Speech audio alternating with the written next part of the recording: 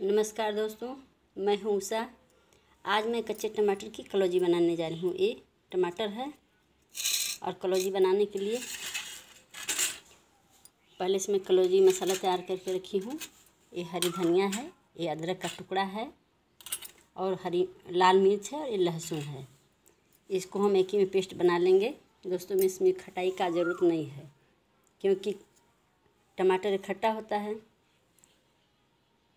इसको पहले हम धो लेंगे। दोस्तों, हमने टमाटर को धो लिया है और पेस्ट भी तैयार कर लिया है। इसमें अपने स्वाद अनुसार आप नमक ले लें।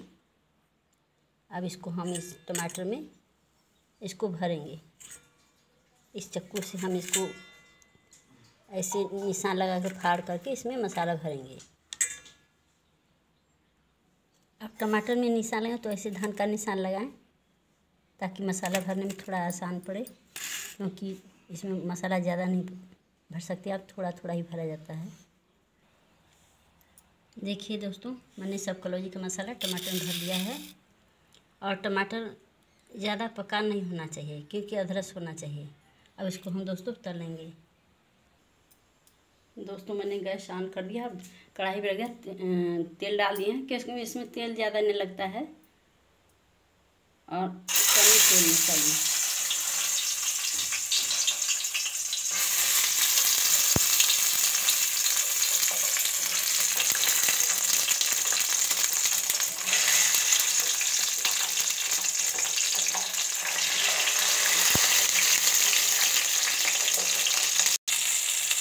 आप लोग जैसे सब टमाटर डाल दिए हैं। इसको स्लो ही फ्लेम पर बनाइए।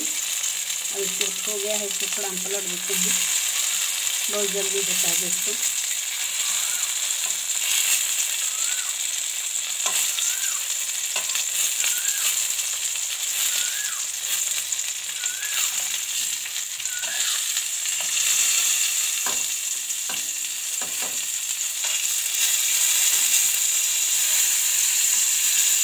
बहुत ही उसको बहुत ही हल्का आना चाहिए।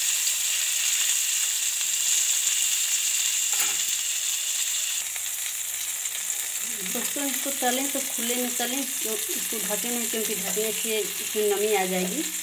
में तो पानी छोड़ेगा तो कलौजी आपकी गल जाएगी इसमें। ऐसे खुले में इसको तलें और स्लो फ्लेम से देखिए हमारी कलौजी हो गई है हो चली है।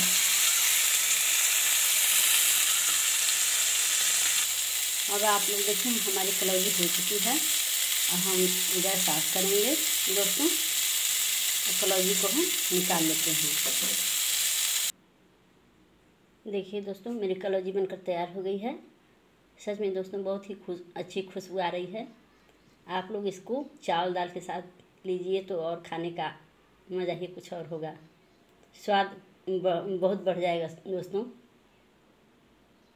और मेरी वीडियो पसंद आए तो आप लोग लाइक करिए, शेयर करिए और सब्सक्राइब करिए दोस्तों। एक बार बना कर देखिए, बहुत ही स्वादिष्ट होता है, ज़्यादा इसमें ओल भी नहीं लगता है। धन्यवाद दोस्तों।